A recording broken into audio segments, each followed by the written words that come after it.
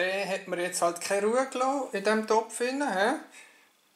wo Ceramis und äh, Substrat und auch noch Erde dran ist, weil da ja immer eins nach dem anderen ist. Ich habe immer gedacht, vielleicht ist es vom Schneiden, von den Blättchen hier, he? ich weiß es nicht, aber der Anzeiger ist ziemlich gut eigentlich, wobei das Substrat dunkt mich zu trocken.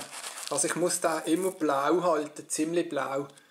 Das zeigt mir zu, feucht an, da dafür, dass das Substrat für die Pflanze muss offenbar feuchter sein. Das ist mir zu trocken. Also was mache ich jetzt? Ich tue hier die Erde komplett auswaschen und tue dann nachher nur in das Tongranulat rein. Und dann kann ich da länger feucht halten und schauen mal, ob das etwas Besseres wird. Ah, der kommt nachher gerade hier rein, in diesen Topf rein. So, das ist so, he? wunderbar. Da sehen wir noch, wie das Wurzelreich sich entwickelt hat. Das wächst schon. Dann auch oben kommt ein kleines Stück wieder raus, ein neues. He? Dann ist das ja nicht ganz so tragisch, aber nichtsdestotrotz. He?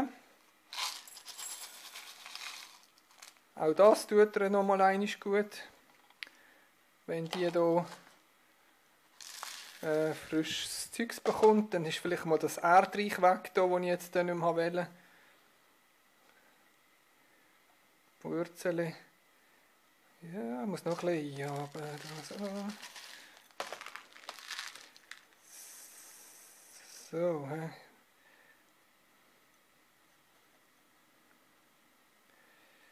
Vielleicht ja, die sind halt horizontal, sie gehen nicht in die Tiefe. He? Da muss man so rein.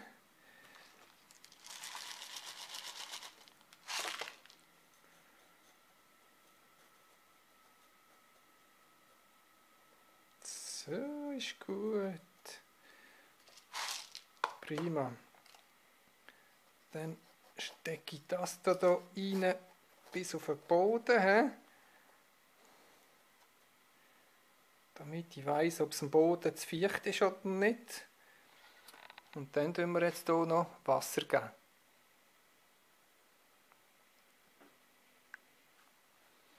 Ah, Wasser rein.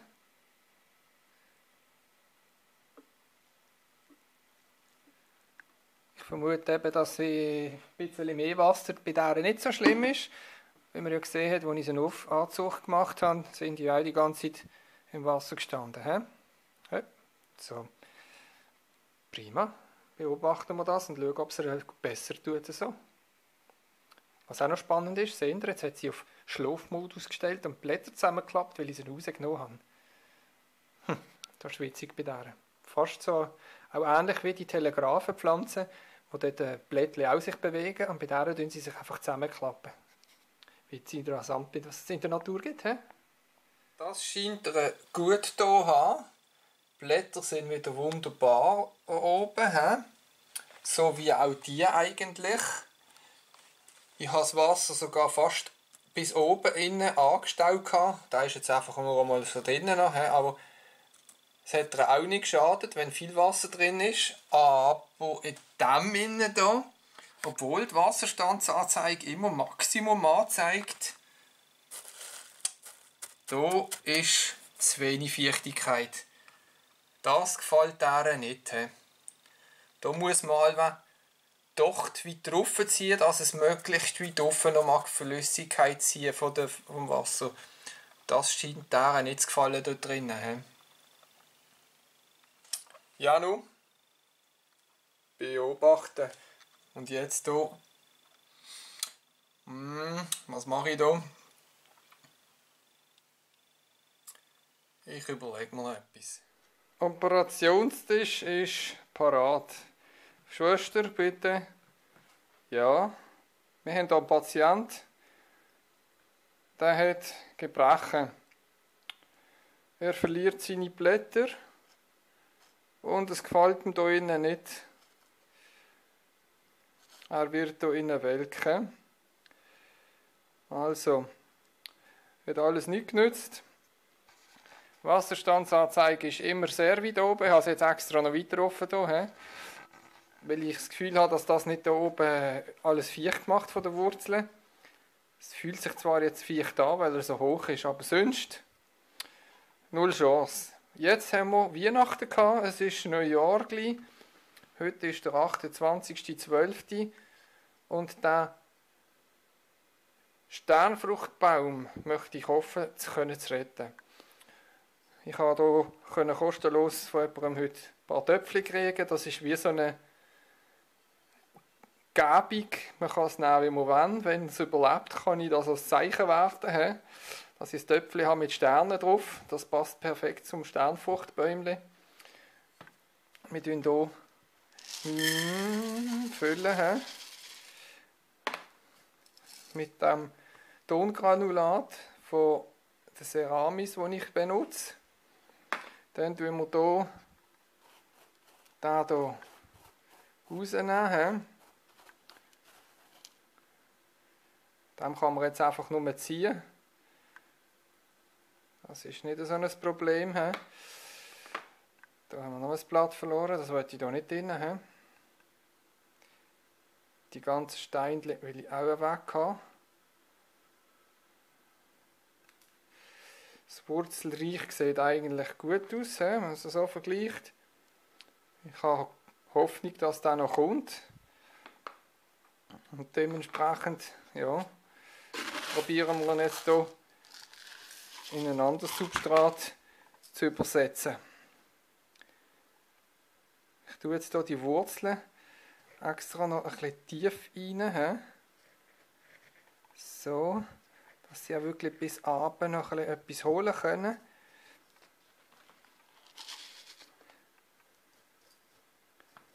Ja, noch ein bisschen ziehen jetzt. So.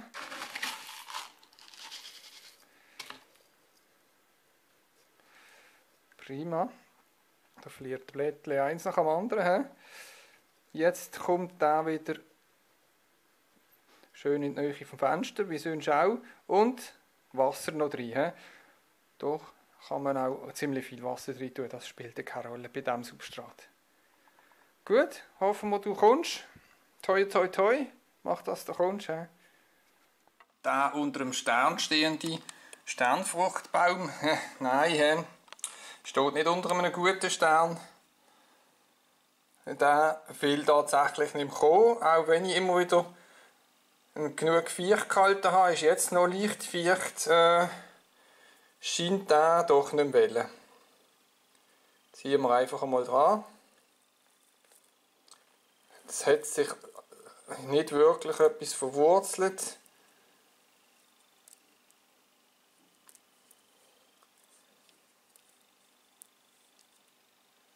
Der wird, so wie es aussieht, vielleicht noch kommen, weil die Wurzeln eigentlich noch gut aussehen, aber oben nichts mehr ist. Ich habe zwei schön wachsende, ich habe ein neues Projekt, wo sie auch schon am Keimen sind, deswegen machen wir hier Platz. Hier muss der Sternfruchtbäumchen äh, leider jetzt etwas anderem weichen haben. Beerdigen wir den jetzt auch. He? Unten am Stämmli hat sich irgendwie so weißes Zeugs gebildet. He? Aber ansonsten sieht sie immer noch fast gut aus. Genauso ist das auch hier um den, am Anzeiger für den Stand, Wasserstand her. Feuchtigkeitsmesser und auch hier unten ist es leicht ja, weisslich. Aber sonst sieht sie nicht schlecht aus. Hier wächst auch schon wieder etwas Neues raus. He? Ein ist ein kurzes Zwischenupdate. Und wie man sehen kann, macht es daran auch nicht aus, wenn sie mal einig komplett im Wasser steht. He? Dann ist das eigentlich nicht nötig, aber ja, er ist einfach drin, damit man es sieht, wenn es zu wenig ist. Wächst schön, immer wieder verschließen sie sich über die Nacht, klappen Blätter zusammen und am nächsten Tag sind sie wieder offen. Da hat auch immer schön genug Feucht. Mit dem funktioniert das wunderbar mit diesen Anzeiger und dem Substrat. Hier wächst bereits schon etwas Neues raus. He? Nur ist da jetzt noch in so einem Kunststofftöpfchen rein, wo ich eine Art Zucht gemacht habe, ja, wo noch weiter drin war. Das will ich jetzt ändern und möchte jetzt in ein anderes Töpfchen über tun. Und weil jetzt die meisten, also bei mir jetzt die gerade alle hier drin stehen, in diesem Substrat, dem Tongranulat von Ceramis, äh, möchte ich jetzt einmal einen umsetzen und tue dann gleichzeitig in ein anderes Substrat hinein. dazu nehme ich einmal so ein speziell schönes Töpfchen her. Und dann hätten wir hier eben das andere Substrat. Das Mineral ist auch mineralisch. He? sind halt einfach ein bisschen anders. Jo. tun wir da jetzt mal rausnehmen.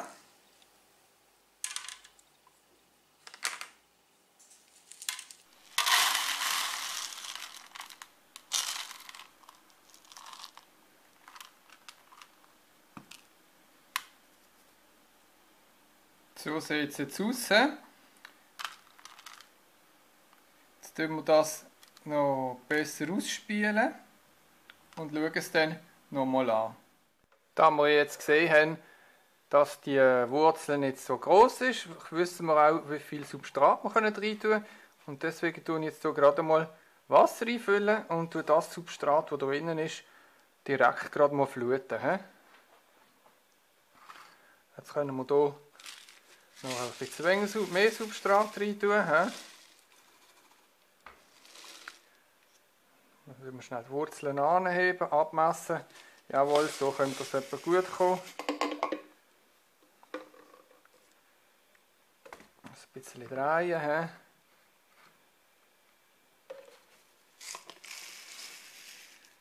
Prima.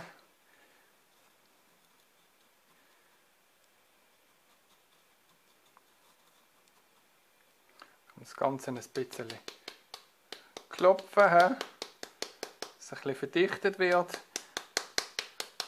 Dann äh, steht es auch bisschen stabiler drinnen. Es sind ziemlich, ziemlich feine Wurzeln, ziehen ziemlich auch einen feinen Stamm immer noch.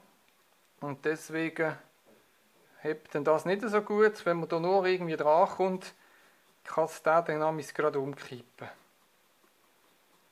Ja. Prima, hä? Hätten wir das? Dann schauen wir zusammen mal schnell so zusammen an. He? So sieht das jetzt aus. Jetzt müssen wir natürlich hier noch ein bisschen nachgießen. Es ist nicht genug Wasser gesehen. Das System hat sich auch als vorteilhaft erwiesen, wenn man zu viel Wasser drin hat, also es nicht so tragisch ist. Da habe ich jetzt ganz leicht mehr Wasser drin. He? kommt ein Anzeiger rein. Jetzt seht ihr schon, die Blättchen, wie die Blättchen sich wieder zusammengeklappt haben. Also der hat das gar nicht gern, wenn man da umtopft. das erholt sich dann wieder im Verlauf vom Tag. Und dann sieht das wieder ganz gut aus wie vorher. Da seht ihr, wie weich das ist. Nur leicht dran Das ist ziemlich empfindlich, da müsst ihr aufpassen. Beim Gießen, dass man nicht dran stößt oder so. Prima, okay. Schauen wir mal, es auch mit dem weitergeht. Und der hier, den ich einmal hier gezeigt habe, der ist mittlerweile ziemlich gewachsen. He? Also der Durchmesser der Blätter hier ist gigantisch geworden im Verhältnis zum letzten Mal. Wenn wir dann aber den anderen anschauen, hier, der ist etwa ähnlich geblieben. Das ist da, wo ich unten noch alles stehen habe. Ja. Und bei dem, wo jetzt eigentlich mehr oben gewachsen ist, seht ihr, wie es weit oben hängt. Das ist da, wo ich den Unterteil abgeschnitten habe. Das ist der, der hier gekommen ist. Also offenbar macht er jetzt oben mehr Wachstum, weil bei dem hier die unteren Blätter fehlen. Ja, und da, da kommt auch schon wieder bereits. Viel ist im Moment nicht passiert. Und um das genauer festzuhalten, tun wir hier Meter anheben. Das heisst, wir haben hier etwa 220, also 22 cm in der Breite etwa. Und in der Höhe, ich messe jetzt einfach mal von dort, wo es etwa in der Erde drin war, da ist er etwa bei 14 cm. He? Und der andere, da tun wir auch mal so ungefähr. Da ist er am breitesten, so wie ich es kann. Der hat hier etwa auch, ja, ist etwa ähnlich. He? Hat auch etwa 22 cm. Und von der Höhe her tun wir ihn mal von hinten drehen, da kann man es besser anschauen. Irgendwie hat er da hinten nicht gebildet, da ist er wie, wie gerade gegen hinten. Muss man mal so drehen, dass er vielleicht da hinten noch ein bisschen rauswächst. Hat man da auch wieder drauf, wo er etwa vom Substrat rauskommt. Das sind etwa 14 cm. Ja, das ist so in etwa. He? Die beiden hier. Ah, eins von meinen ersten Sternfruchtbäumchen. Hier die Wasserstandsanzeiger drin haben. Die tun wir jetzt rausnehmen. Ja, man sieht es schon, wie sie gelitten hat mit den Steinchen. Die funktioniert nicht mehr optimal. Das ist genau der Grund, warum ich mich entschieden habe, ein anderes System für das steinige mineralische Substrat zu wählen, damit eben die nicht kaputt gehen beziehungsweise ich die für etwas anderes kann brauchen aber da kann ich jetzt aber vermutlich jetzt kaputt schießen, weil der funktioniert nicht mehr richtig. Ähm, okay. Äh, jetzt machen wir es so. Ich habe hier solche Wasserstandsanzeiger mit besorgt und habe schon bei anderen Pflanzen das auch schon gemacht. Jetzt kommt noch die da dran. Und zwar mache ich das jetzt äh, so.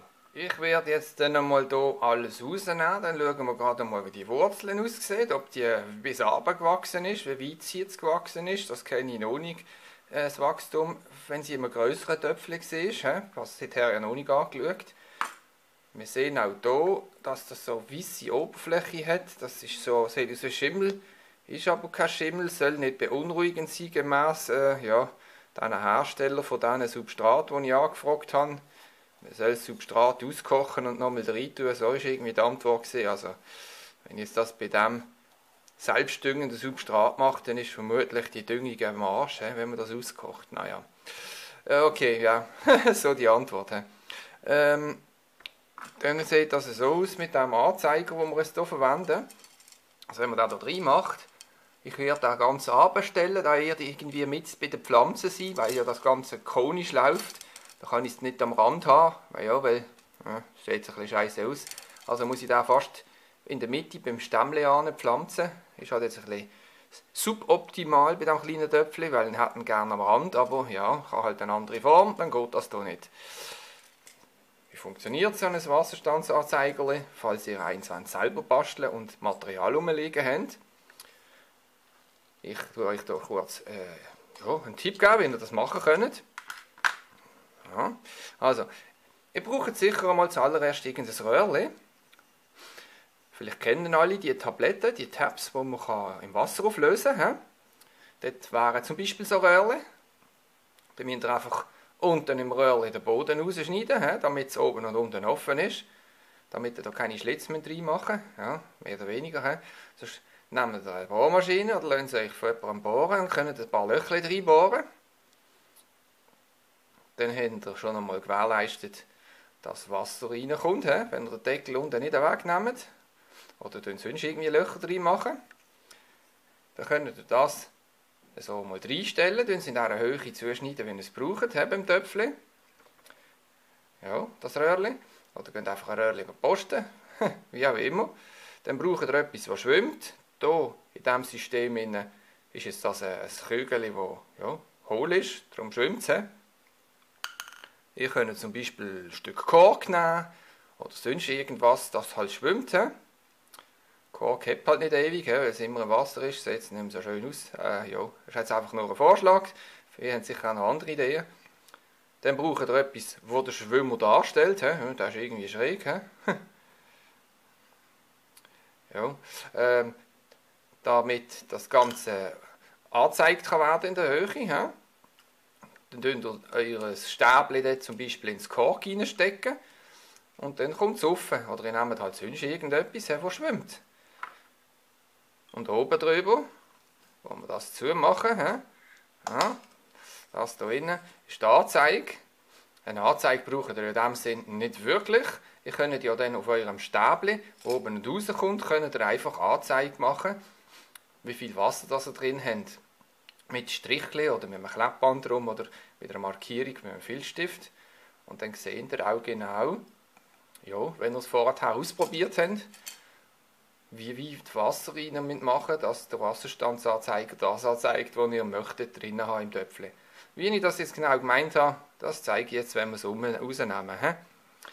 Das heißt, ähm, jetzt machen wir es so. Und zwar nehmen wir das hier jetzt raus.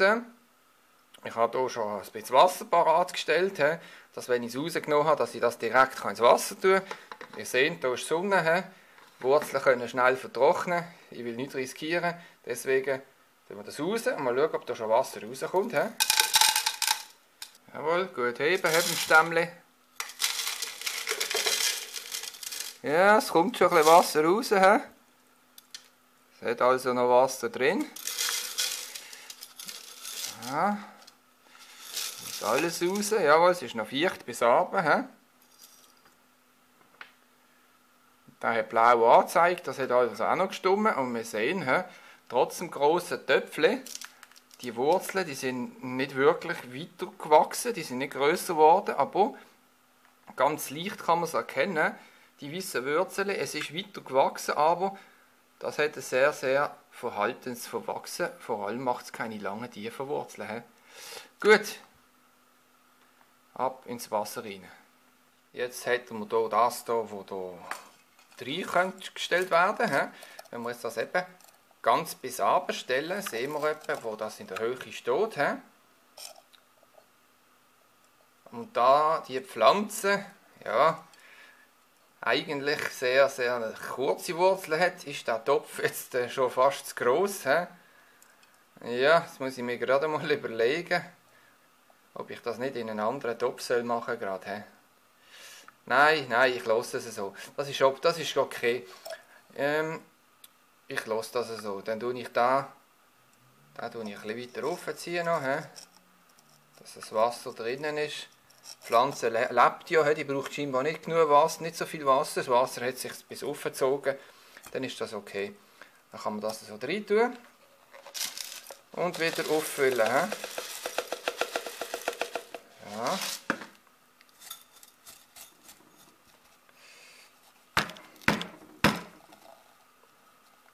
Das ist das, was ich gemeint habe vorher. He? Das steht jetzt natürlich nicht schön am Rand, weil es nicht geht, weil es konisch ist. He? Und jetzt äh, kommt das, was ich meine, mit dem Wasser einfüllen. He? Zeige ich euch jetzt, wenn ich das Wasser da einfülle. Ja, noch nicht los. Ich muss, sonst bewegt es mir dann den Anzeiger. Ich muss noch ein bisschen mehr rein tun von dem Substrat.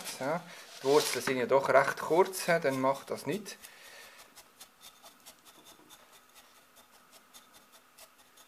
So ist das okay. He? Prima. Dann machen wir das jetzt so. Haben das da rein.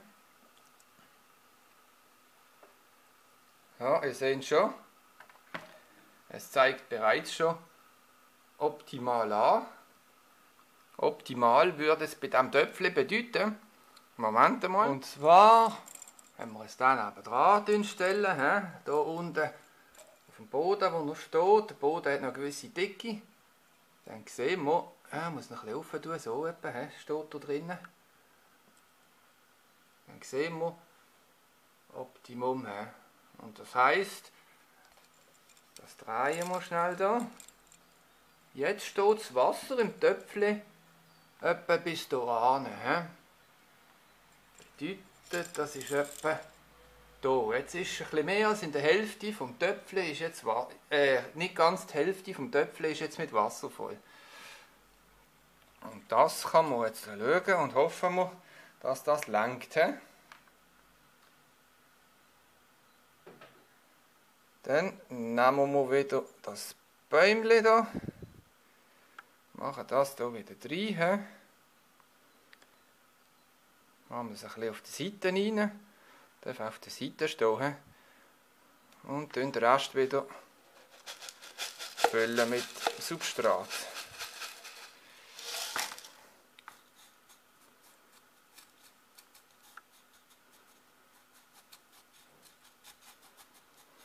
Brauchen wir wahrscheinlich nicht mehr ganz alles, sonst ist es zu hoch.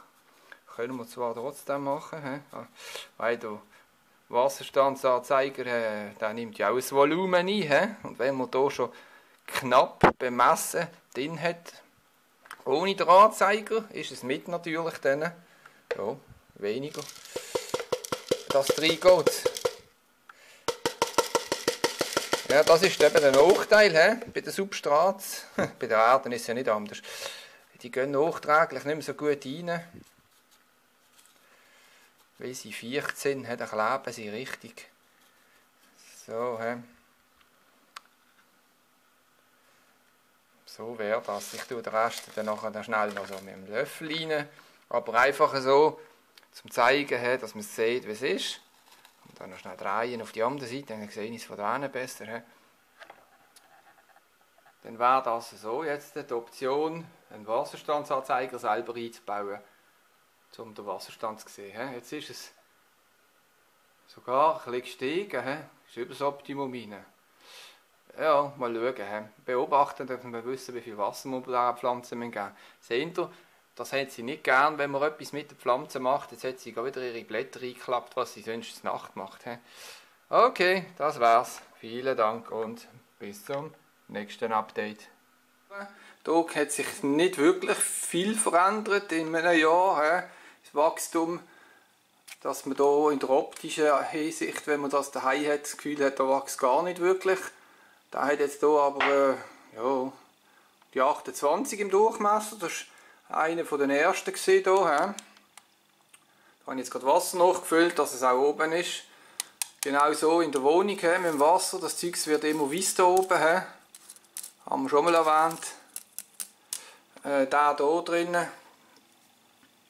Ja, auch hier, wenn wir jetzt bei der Höhe schauen. He.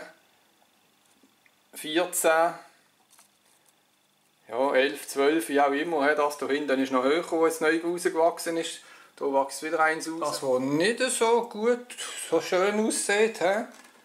wächst zwar auch immer, oben kommt auch wieder etwas Frisches raus. Verliert aber eher Blätter, das ist ja der, den wir einmal unten mehr abgeschnitten haben. He? Wo wir einmal die Anzeige rein gemacht haben und einmal die Wurzeln angeschaut haben. Der wächst auch hervorragend, der wächst am schönsten fast von allen, neben dem hier.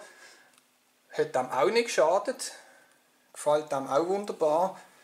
Und hier können wir auch sehen, wenn wir Anzeiger haben, müssen wir jetzt wieder Wasser geben. Sieht aus, wie wenn er zu wenig hat, aber an der Pflanze sieht es nicht aus, als wenn es zu wenig hat. Die braucht also auch nicht sonderlich viel Wasser. Also vorsichtig mit Wasser geben sein bei diesen Pflanzen hier. Sonst kommt das denen vielleicht nicht gut. Sehen, dass das hier rot ist, he? fast ganz rot. Und weil ich hier schräg drauf geschaut habe, hat es blau ausgesehen.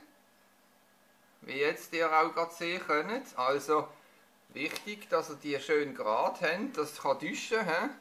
weil jetzt ja, geht hier ein Blättchen nach dem anderen runter. Bedeutet, da hat es wenig Wasser gehabt. He? Also, Sternfrucht, he? die haben es gar nicht gern, wenn es trocken wird. Ja, sehen Sie da, he? da geht alles ab und wird geht kaputt. He? Jetzt hoffen wir mal und schauen mal, was da weiter passiert. He? der weiter wächst oder ob er ganz hingeht. Ich kann jetzt wieder Wasser geben. He? Einen von denen he? müssen wir hier jetzt äh, entsorgen. Den mache ich weg, weil hier äh, immer mehr am Zerfallen ist und am Vertrocknen ist. Gehen alles Blättchen ab. He? und ich ja noch genug andere habe. Im oberen Bereich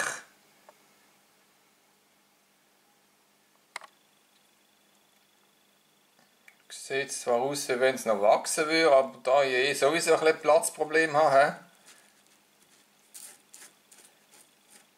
tun wir das jetzt äh, entsorgen. He?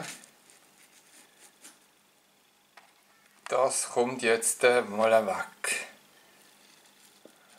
Wurzelbereich, he? sieht auch noch gut aus. Könnte gut sein, dass er noch kommt. Aber ja, man kann sich nicht immer an allem festklemmen. He? Funktioniert sonst soweit eigentlich gut. Diese Sternfruchtpflanze, die sieht auch ganz prächtig schön aus hier. Die gefällt mir ganz besonders gut. Das ist eine von denen, die leicht abseits steht. Die steht nicht direkt am Sonnenlicht. Hier sehen wir auch Blättchen, die abgehen. Das ist normal im unteren Bereich, dass da immer wieder Blätter abgehen. Hier sehen wir jetzt den Wasserstandsanzeiger, das ist ganz unten. Da muss man wieder Wasser reingeben.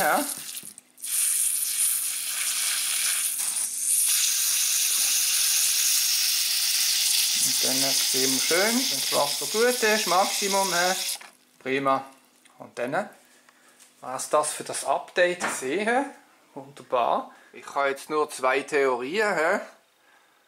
Die eine ist, dass es Kieler geworden ist und es denen nicht gefällt. Darum habe ich die jetzt zügelt. Die sind vorher irgendjemand anders gestanden. Hier in diesem Raum ist es ein bisschen wärmer. Und die zweite Theorie ist, im Wohnzimmer läuft ab und zu der Ventilator, den ich dort auch schon im Sommer laufen habe. Im Sommer hat es nicht gestört. Wobei es dann eben wahrscheinlich warm war. Darum habe ich jetzt die Komponente mit dem Ventilator, der ab und zu läuft, ausgeschaltet indem sie jetzt hier stehen, wo der Ventilator das nicht mehr abbläst. Um mal schauen, ja, liegt es jetzt daran, dass sie zu viel abblasen werden, weil es Kiel ist, oder nur weil es Kiel ist. He? Finden wir das miteinander raus und dann sehen wir, was hier mit denen passiert. He? Aber auch der fängt jetzt an welk werden und verliert immer wieder Ästchen unten. Ich vermute jetzt einfach einmal, dass dem nicht gefällt, weil es Kieler ist. He? Kieler heisst also um die 20 Grad, denn ich habe es auch schon probiert mit weniger Wasser. He? Ja, sehen wir gerade, okay, gerade Blättchen ab, wenn man dran klopft. Wegen dem Wasserstandsanzeiger, aber an dem liegt es auch nicht. He? Da liegt auch noch mal eins drin. Wenn zu wenig Wasser ist oder zu viel Wasser ist, bei dem nicht so drauf schauen können. Also deswegen schaue ich, dass er immer feucht ist. Und der dritte ist genau gleich. Ja, der verliert auch immer wieder Blättchen und kleine Ästchen zwischen ihnen da. Jetzt geht wieder eins runter. Dann schauen wir mal, wie das das nächste Jahr aussieht. Bei allen drei aber kann man beobachten, dass er oben trotzdem nachwächst. Also bleiben wir gespannt, was da noch passiert.